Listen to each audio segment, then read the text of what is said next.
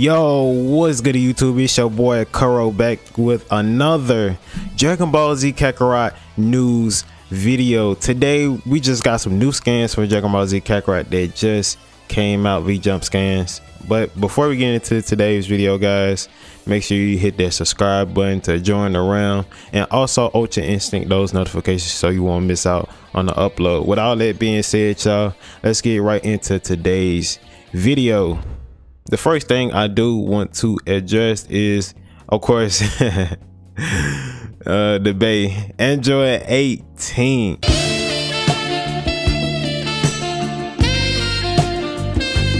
Android 18 would be a support character. As you can see, um, a lot of this stuff is in Japanese, so of course I can't, you know, um, my weeaboo skills hasn't surpassed that limit yet to where I could just, you know, read Japanese wording. But I can definitely speculate and tell you guys what is most likely going to be. But um, we're gonna go here on Twitter here, so just to show you guys that I'm not, you know, I'm not lying and stuff that they support characters up here. Shout out to the boy King Zaro. Make sure you guys go follow him. His link will be down below in the description. Um, he keeps us updated with Dragon Ball content and just overall supports the Dragon Ball community. Um, like King Zaro says, it said in my latest latest video, Android 18, Go Goten, and Trunks are going to be support characters in Dragon Ball Z Kakarot. So there you guys have it. If King Zaro said it, then it's it's more than likely true. Um, he's a reliable source and he's the always the first one to get this type of information. With that being the case, Android 18. Now, when I see Android 18, guys, um, I automatically go back and think um, when she did in the anime and also in the past Dragon Ball Z games, um, as far as like her move set and stuff. Uh, yeah, let me know if you guys want to see an Android 18 move set video down below in the comments. But as far as like support, uh, moves the moves that I can see her doing and stuff, as you can see, like she doing like a little follow up attack right here. Um, she can she can act like you know how Android um 17 and 18 act as duos, like they partners. Like for instance, in Dragon Ball FighterZ, um, Android 18 will call out Android 17 as support, and he is very important to um, prolonging the combo and the longevity of the combo and stuff like that to follow up with attacks and stuff like that and things of that nature. So I'm thinking, you know, she's gonna be a, you know, play a big part in that um, for you to extend your combos and you know make up different combinations and you know what I'm saying just I get creative with that on the end of the bargain. Um, I know they do not have this move in the um, screenshot that we have here up on screen, but um, Android 18, she does her barrier, her energy barrier, and if she's able to, which I'm more than likely sure that she will be able to use that energy barrier in Dragon Ball Z Kakarot, of course, because she used it in anime, it wouldn't make sense for her not to have the move. You know, it's it's like her bread and butter is like Goku without having to Kamehameha. Like that's what makes her an android, you know what I'm saying, to be able to deflect and absorb energy and stuff. So, um, with all that being said, like I feel like her having the energy barrier move would be a good move to have as a support skill to have with her because you know you can deflect any projectiles that's being thrown at you by your opponent and you know I'm saying just keep you protected because I ain't gonna lie from the last gameplays that we've been seeing you got to be kind of quick to dodge these projectiles that um, these enemies and stuff uh, that's gonna be throwing at you and stuff. Because you know I'm saying you're gonna be behind the a lot, and it would definitely help out if Android 18 can just throw up that energy barrier and just deflect those projectiles and stuff without us, you know, having to dodge everything every time. We could just think what's our next move could be, or you can use that time to power up to Super Saiyan 3. You know what I'm saying? Super Saiyan 3, Super Saiyan 1, 2, or even King. So I'm glad she's in the game, of course. Like, why wouldn't she be? Is probably what you're asking. But um I'm also happy and content with her being a support character, you know. she's not like a main character. So like she she's a villain at one point. So like I get why she's not a playable character in Dragon Ball Z Kakarot because I mean that would mean we would have to play on the villain side. You get what I'm saying? You get what I'm saying?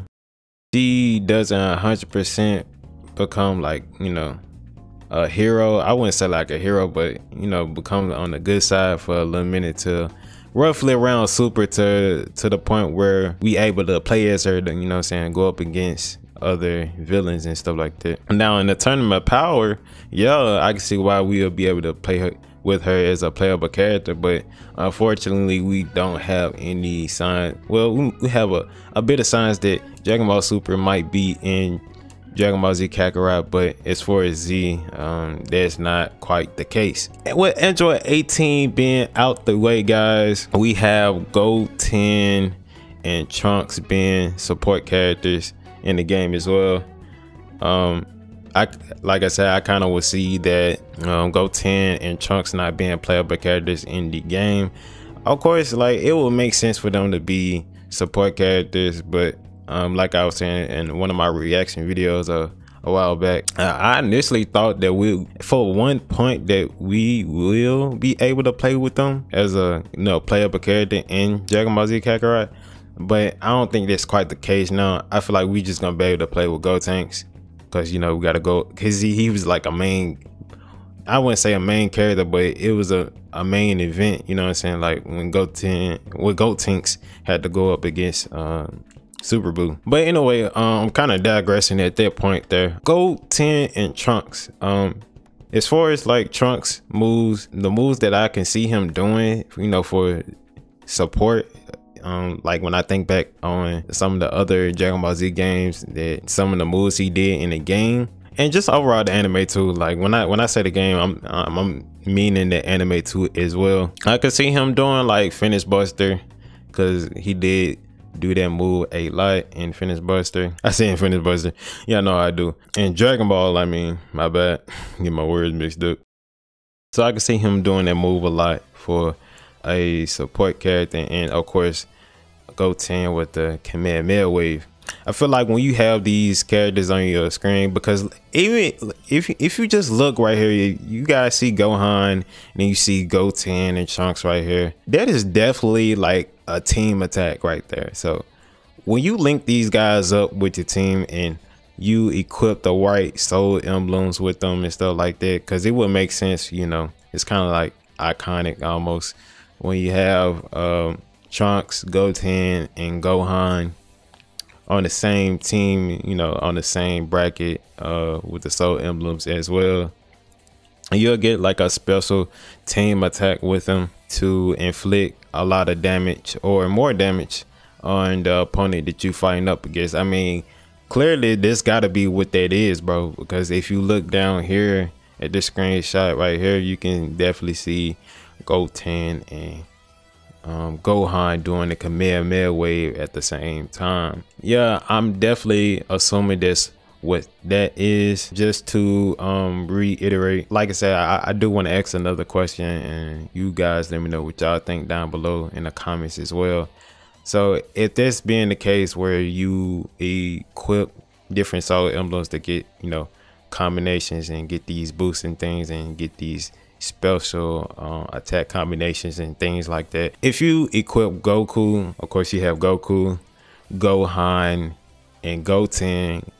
Technically, you should be able to do the the Super Kamehameha wave, right? The one where they uh, went up against Broly with and they had to do the Kamehameha wave. I know move characters is not confirmed in the game, but technically they should still be in the game because, of course, Broly's not in the game, but their moves should be still in the game. You know what I'm saying? You guys let me know what you think down below in the comments. I'm I'm glad to see more support characters being added to Dragon Ball Z Kakarot because I know support characters is going to be very important in this game, especially going up against boss fights and you know powerful opponents and things of that nature.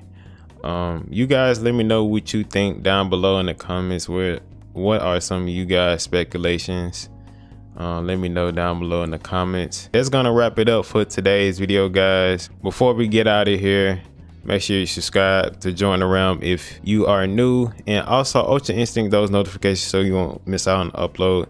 If you enjoyed the vibes of the video or you found it really informative, consider sharing the video with your homies so more people can see that Android 18, Goten, and Trunks is being added in as support characters in the game. And with all that being said, y'all, I'm gonna instant transmission to my next video.